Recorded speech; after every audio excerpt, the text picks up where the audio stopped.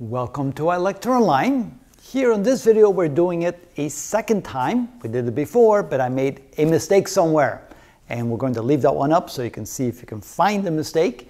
But at least here hopefully I won't make the same mistake twice. So let's go ahead and learn how to simplify these expressions. These are numerical expressions. Again the rules are that we need to do exponents first then we get rid or actually the rule is that we should get rid of what's inside parentheses first. Then we do exponents, then we do division and, and multiplication, and do addition and subtraction in that order. And then if there's a tie, we go from left to right. So in our first example, there's a tie, there's a subtraction, there's a addition, and so since they have the same priority, we start on the left, and we first go 22 minus 42, and that gives us a minus 20, then here we add plus 30 to that, and then this becomes equal to 10.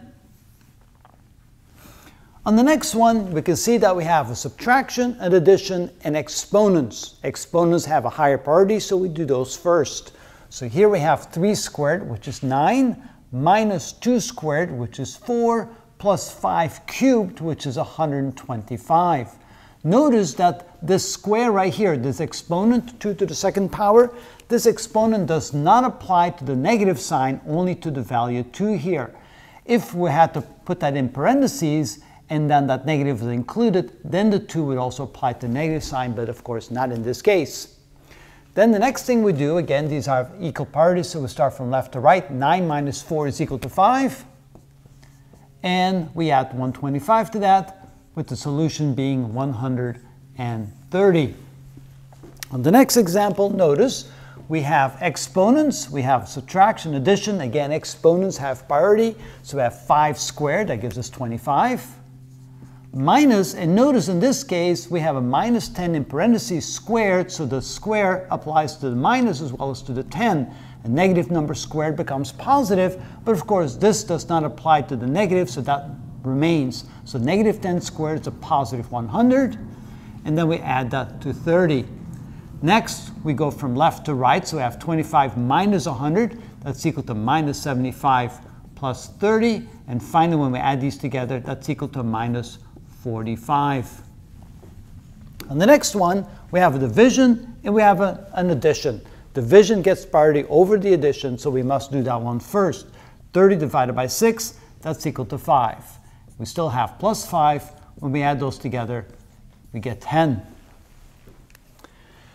On the next one over here, notice we have two things in parentheses and they're multiplied together. Even though there's nothing in between, it's implied that this is a multiplication because we don't see a subtraction or an addition.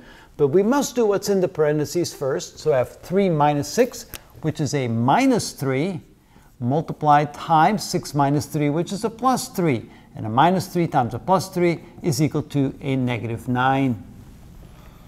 On the next example here, we must do what's inside the parentheses first. So let's do that. So this is equal to 2 plus, we have 3 plus 5, which is equal to 8, minus 6 minus 4, which is equal to 2.